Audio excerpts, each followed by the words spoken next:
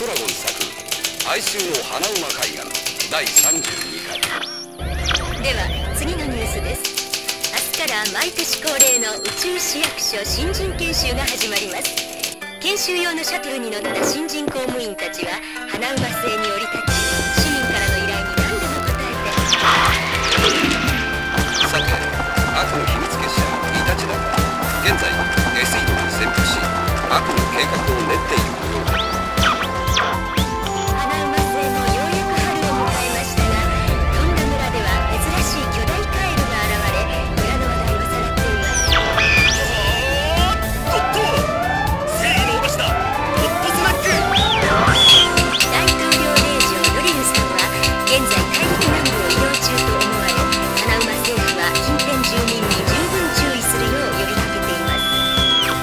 研修を行う新人公務員たちに各方面から同情の声が残っていますがぜひ頑張ってほしいものですね。